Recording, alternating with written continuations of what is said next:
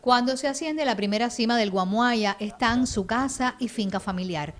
Dos hectáreas compartidas más allá del río, tierras de la Cooperativa de Producción Agropecuaria 10 de octubre, que ahora recompensan a Bonifacio. Dos meses, ¿ve? Como está allá. El desarrollo vegetativo del cultivo está muy bueno, muy favorable a otros tiempos, muy bueno. Lo hemos mantenido, nada más que hemos aplicado dos fumigaciones y se mantiene el, cultivo con un estado vegetativo muy bueno, muy favorable para que haya un rendimiento superior a otros años. Hasta ahora las condiciones climáticas han sido óptimas. Hemos tenido que emplear riego dos veces solamente y lleva la papa dos meses de sembrar. O sea que el otro, la naturaleza nos ha ayudado con las lluvias aquí en el Escambray.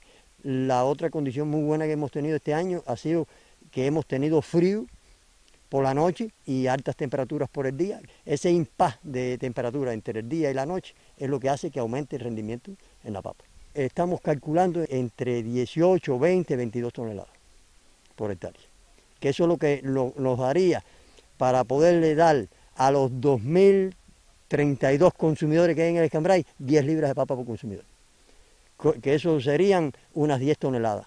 10.6 toneladas. Con eso tenemos ya para darle papa al macizo montañoso de, de este circuito donde estamos. Habitantes desde la Sierrita hasta Cuatro Vientos, aproximadamente la mitad de la población del macizo Guamuaya, que serán beneficiados también con otras dos hectáreas plantadas en el mamey y el naranjo. Yo desde niño ya se sembraba papa en el Escambray y vi cómo era el desarrollo del cultivo.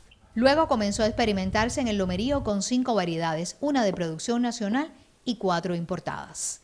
¿Siempre se, le dio bien la papa? Se logró magníficamente buenos resultados todos esos, en esos años y estuvimos cinco años con él sembrando papa. ¿Cuál es su sueño con la papa en un futuro en el Escambray si esta cosecha le sale bien? Nosotros tenemos aquí cinco hectáreas de tierra bajo riego por gravedad todo el tiempo. El objetivo sería plantar las cinco hectáreas, o sea que sería una cuestión novedosa en el Escambray para darle la papa que necesite más montañoso y no tenerla que transportar de ninguna otra parte.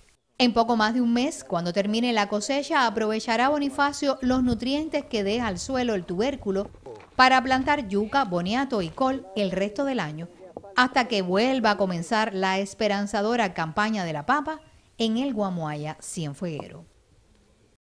Ismari Barcia, Notisur.